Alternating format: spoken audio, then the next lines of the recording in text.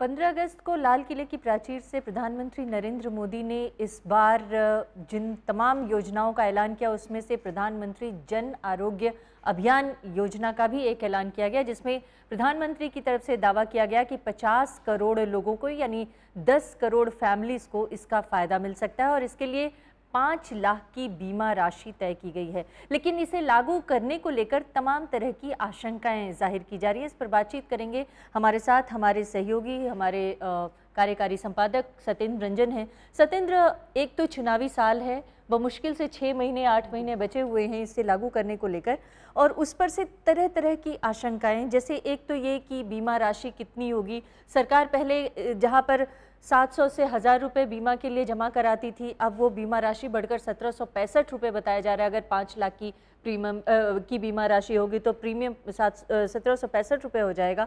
इसको लेकर सवाल उठाया जा रहा है। दूसरा ये कि कई ऐसे राज्य हैं, खासतौर से साउथ के राज्य, जहाँ पर इस तरह की योजनाएँ ऑलरेडी चल रही हैं। एक लाख से दो लाख के बीच की योजनाएँ चल रही हैं। उनसे ये किस तरह से भिन्न होगा और राज्यों के ऊपर इसका कितना दबाव होगा, इसे किस तरीके से लागू किया जाएगा ताकि ज़्यादा से ज़्यादा लोगों को इसका फ़ायदा पहुँचाया जा सके? क्या इस तरह की कुछ स्पष्टता आई है इस ऐलान से? इसको लेकर अभी बहुत ज़्यादा कोई स्पष्टता नहीं है इसलिए हम्म। कि अभी तो सरकार ने कई उसमें नीति आयोग के साथ समिति बनाई थी उसने कुछ इसका वर्कआउट किया है। हम्म। और इसको स्टेट गवर्नमेंट्स के साथ मिल करके लागू करने की योजना है इसमें स्टेट गवर्नमेंट्स कितना इसमें सहयोग के साथ आती हैं ये एक सवाल है एक सवाल जो इसके इम्प्लीमेंटेशन को लेके है। इम्प्लीमेंटेशन के कई उसमें दिक्कतें हैं। लेकिन एक बुनियादी जो दूसरा सवाल है वो है कि बीमा आधारित यूनिवर्सल हेल्थ केयर देने की जो सोच है हम्म। इसका अब दुनिया के पास अनुभव है। कई देशों का अनुभव है और अपने देश में के भीतर भी हम्म। कई राज्यों में तीस हज़ार से लेकर एक लाख तक दो लाख तक, दो लाख तक की योजनाएँ दी जाती रही हैं। हाँ। उन सब के बावजूद जो बेसिक हेल्थ इंडिकेटर है उसको सुधारने में ज़्यादा मदद नहीं मिली है।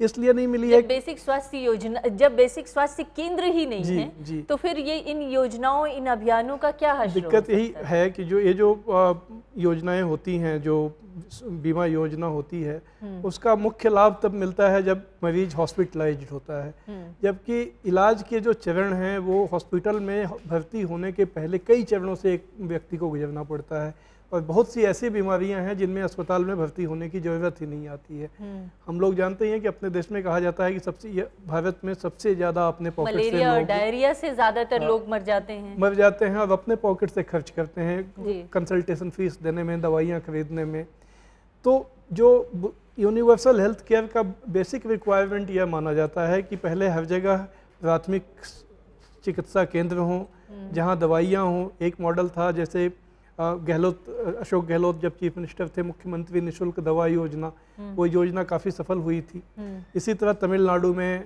केरल में ऐसी हम्म। योजनाएँ रही हैं हाँ। यहाँ पर लेकिन हमने एक रिपोर्ट पढ़ी जिसके मुताबिक तमिलनाडु में एक योजना दो योजना एक ही योजना चल रही है जिसमें दो पार्ट्स हैं एक एक में करीब तीस हज़ार से एक लाख तक का बीमा किया जाता है और दूसरा जो जिसमें ज़्यादा खर्चीली जो दवाइयाँ होती हैं या जो ज़्यादा खर्चीला इलाज होता है उसके लिए दो लाख तक का बीमा है। लेकिन दो लाख तक का बीमा लेने वाले महज तीन से पाँच परसेंट लोग हैं।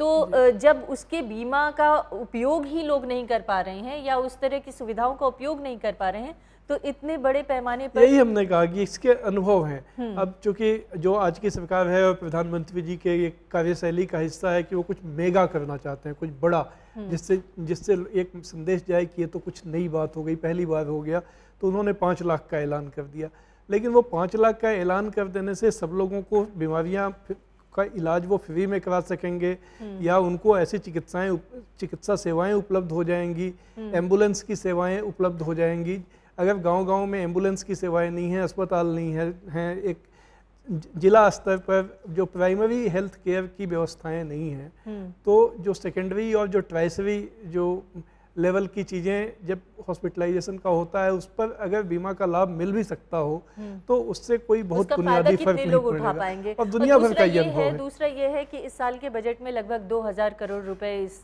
इस स्वास्थ्य बीमा योजना के मद्देनजर आयुष्मान भारत में दिया गया था।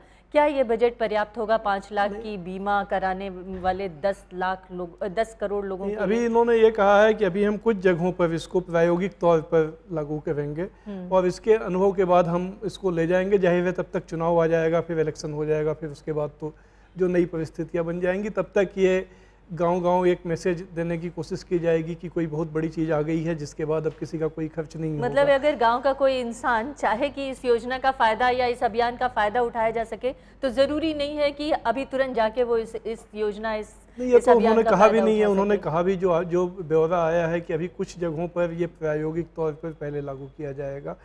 तो ये तो बस एक इम्प्रेशन पैदा करने की बात है। वैसे भी जो मैं कह रहा मेरी जो मेरा जो। दलील मैं देना चाहता हूँ हाँ। कि ये दुनिया भर का अनुभव है कि जहाँ पर भी पब्लिक सेक्टर में अच्छी स्वास्थ्य सेवाएँ नहीं हैं वहाँ के लोगों को अच्छी स्वास्थ्य सेवाएँ नहीं मिलती हैं। और इसमें जैसा कि ब्रिटेन का नेशनल हेल्थ सर्विस है उसको एक दुनिया का मॉडल के रूप में माना जाता है।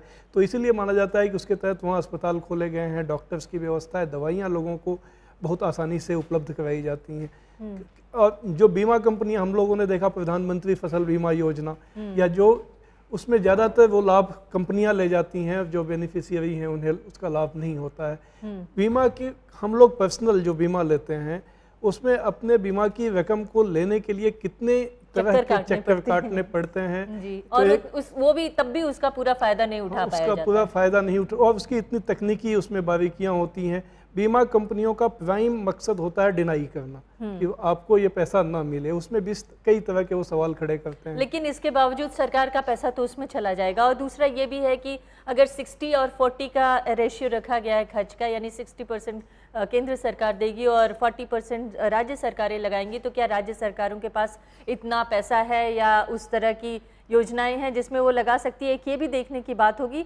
बहरहाल इशू ये है कि सरकार ने एक अभियान का ऐलान तो बहुत बड़े पैमाने पर कर दिया है लेकिन इसके लागू करने की जो छोटी छोटी दिक्कतें हैं, उसकी तरफ़ ध्यान नहीं है। और दूसरा, तमाम जानकार इस बात से इत्तेफाक रखते हैं कि अगर सरकार अपनी चिकित्सा व्यवस्था को दुरुस्त कर लेती और वहाँ पर छोटे छोटे गाँव और कस्बों में अगर अच्छे अस्पताल, अच्छी सुविधाएँ और चिकित्सकों की व्यवस्था कर दी गई होती तो शायद ये ज़्यादा बेहतर होता बनस्पत स्वास्थ्य बीमा योजना के, किसी भी तरह की स्वास्थ्य बीमा योजना के। फ़िलहाल की स्थिति में तो ये नहीं कहा जा सकता कि सब लोग इसका फ़ायदा उठा ही पाएँगे, लेकिन कुछ कुछ जगहों पर मॉडल के तौर पर इंट्रोड्यूस करने की कोशिश की जा रही है।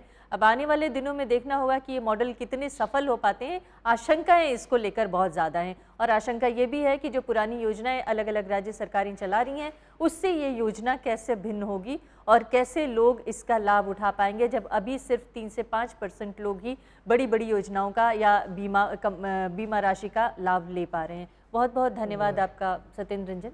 नमस्कार।